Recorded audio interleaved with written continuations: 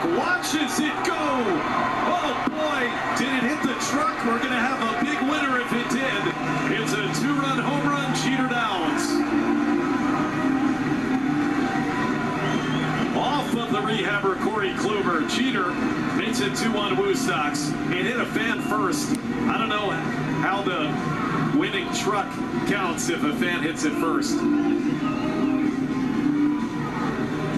Regardless, this has to make Jeter Downs feel phenomenal. Again, this is what we were just talking about with Johan Mieses.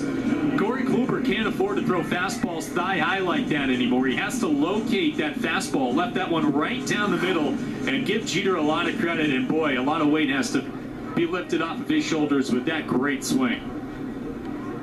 Woo Sox in